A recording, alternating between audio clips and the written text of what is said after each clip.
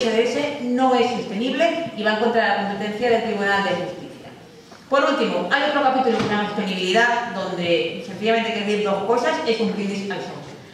Es un capítulo donde se enumera una serie de derechos laborales que se deberían respetar en el TTIP, de, derivándonos de las normas internacionales, cuando ya sabemos que mencionar aquí a la OIT es mencionar papel mojado, Estados Unidos directamente pasa de la OIT. Bien, acabando ya. ¿Cómo nos están vendiendo ese tratado? La Comisión dice que es el plan de estímulo más barato posible, etc. Hay un montón de informes, un montón, cuatro fundamentales y uno acaba de salir en el Estado español que dicen que el PIB va a aumentar en 119 mil millones anuales, que cada familia europea va a tener 500 eh, euros. Estos informes están criticadísimos. Estos informes se basan en un modelo de expectativas ficticias que no tienen en cuenta los fallos y que no tienen en cuenta los efectos negativos de estos tratados. Estos modelos están financiados, estos informes están financiados por la Comisión Europea.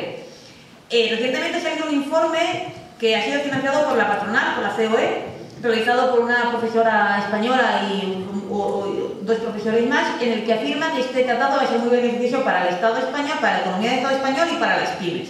Cuando he tenido ocasión de discutir este informe con eh, una representación de sus autores y con el Ministerio, les hice una sencilla pregunta. ¿Cuántas pymes, y fundamentalmente cuántas micropymes en el Estado español, que como sabéis es nuestro tejido productivo fundamental, tienen en estos momentos capacidad para comerciar con Estados Unidos. La contestación fue, ese dato no tenemos. pues ese dato ustedes no lo tienen porque hay un folleto que ha costado una pasta y que está difundiéndolo el Ministerio de Economía Española y la Comisión Europea, donde dice que el TTIP va a favorecer a las pymes.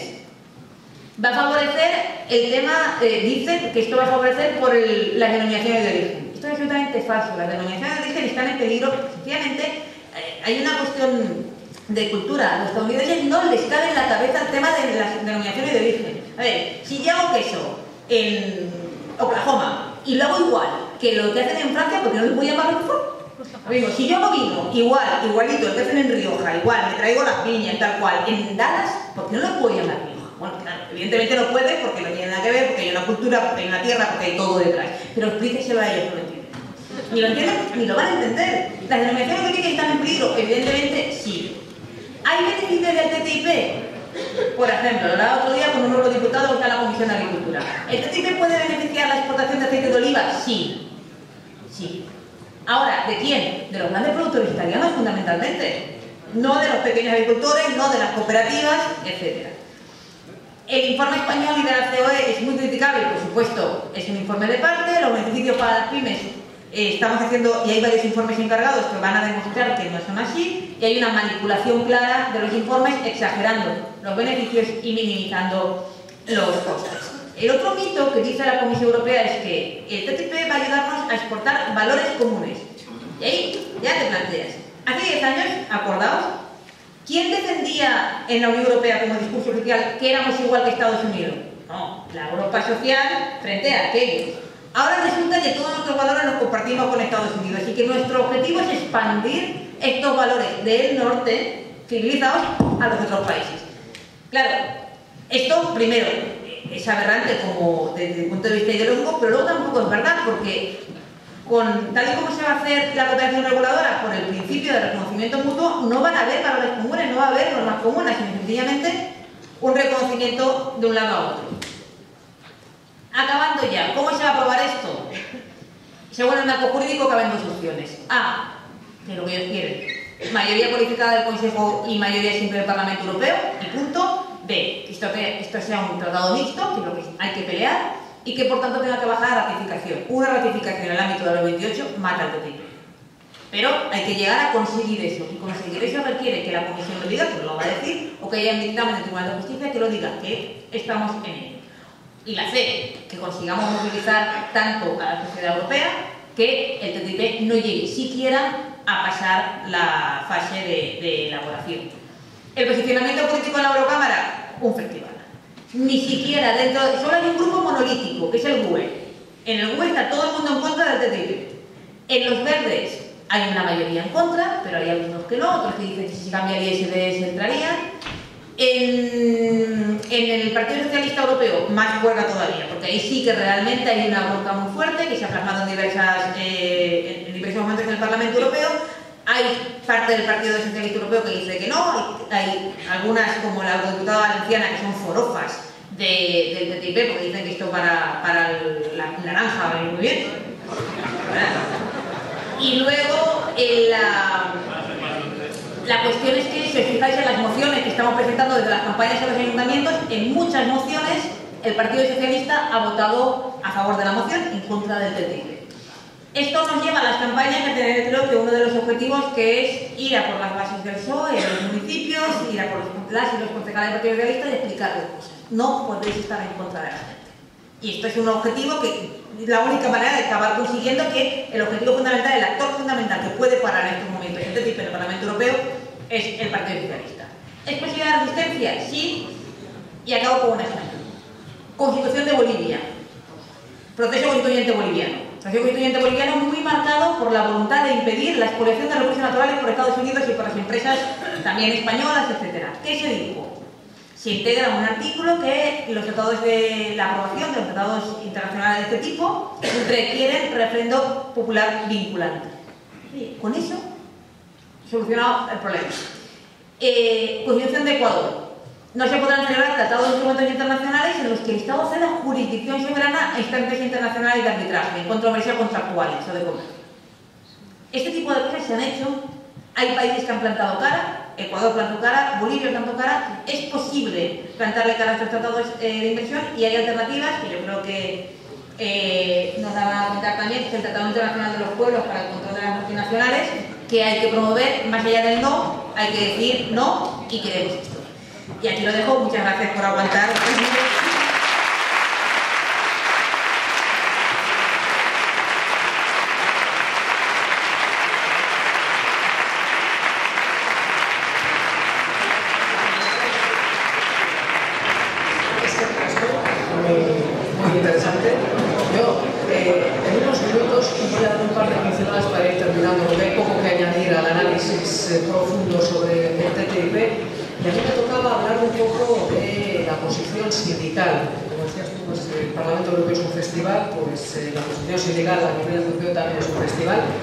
Y voy a decir un par de cosas solamente para ir ya dando y paso a las conclusiones. En el plano europeo, la posición respecto al TTIP, bueno, hay, yo creo que ha ido evolucionando también, ¿no? Pero bueno, hay que decir que hay países donde los sindicatos están mayoritariamente en contra, o podemos decir que tienen una crítica bastante fuerte respecto al TTIP. Y eso pasa, por ejemplo, en Alemania, pasa en el Reino Unido, pasa en Francia, en Austria, en Bélgica, en Italia, en Euskal Herria, en el Estado, en una medida, eh, yo creo que es una posición que está evolucionando en función de que la, movilización social, eh, las campañas contra el TTIP están persiguiendo no solo a los partidos políticos, también a los sindicatos.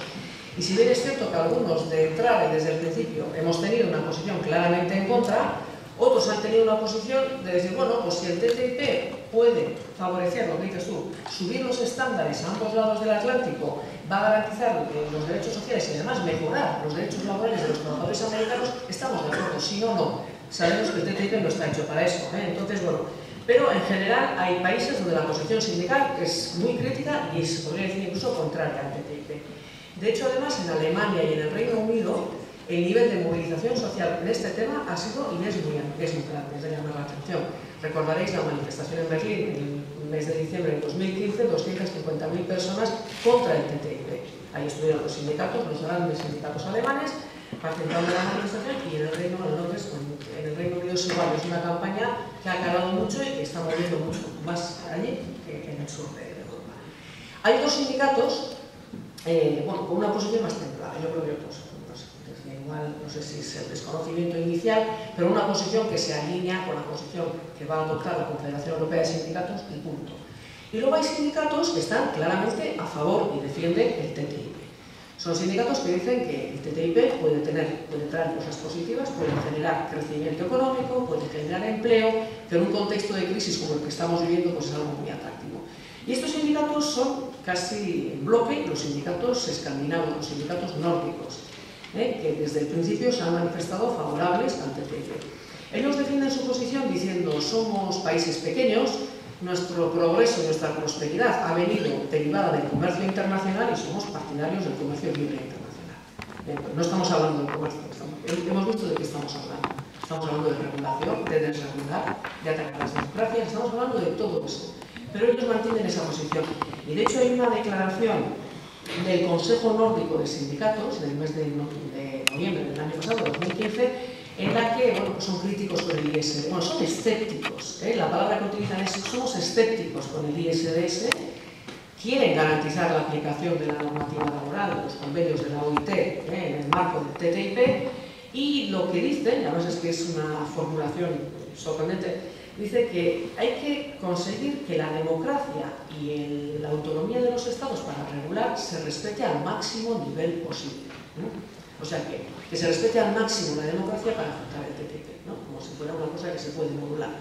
Entonces, bueno, es una posición chocante, pero es la posición de los sindicatos eh, nórdicos Hablemos de las confederaciones, habría que saber lo que piensan sus bases, pues ya sabemos de algunos sindicatos noruegos, por ejemplo, que, este, que no comparten esta posición, pero es la posición mayoritaria de los sindicatos nórdicos. Y claro, todo esto está dentro de la CES, de la Confederación Europea de Sindicatos, con lo cual la posición de la Confederación Europea de Sindicatos bueno, es crítica con algunos elementos del, TTIP, es crítica con el ISDS, no aceptaremos o no apoyaremos ningún tratado internacional, ningún TTIP que incluya el ISDS, es crítica con la cooperación regulatoria, con la pérdida de soberanía en materia eh, de, regulación por parte de los Estados, es, por supuesto, exige eh, la garantía de la aplicación de los convenios de, fundamentales de la OIT, que Estados Unidos acepte, eh, ratifique los convenios fundamentales de la OIT, eh, bueno, el, también en contra de que los servicios públicos se incorporen en el TTIP, etc. Hay una serie de líneas rojas pero bueno, es, eh, concluye diciendo que podría ser eh, positivo para el empleo y para la inversión un TTIP que cubriera, un TTIP que tenga todo eso no es un TTIP, pero bueno, esa es la posición. Ya digo, y en el seno de la Constitución Europea de Sindicatos hay posiciones muy divergentes entre los diferentes sindicatos. Respecto a, bueno, y una cosa que es baladí, sindicatos que se están movilizando, los hay, he dicho en Alemania, en Reino Unido, aquí, pero la Confederación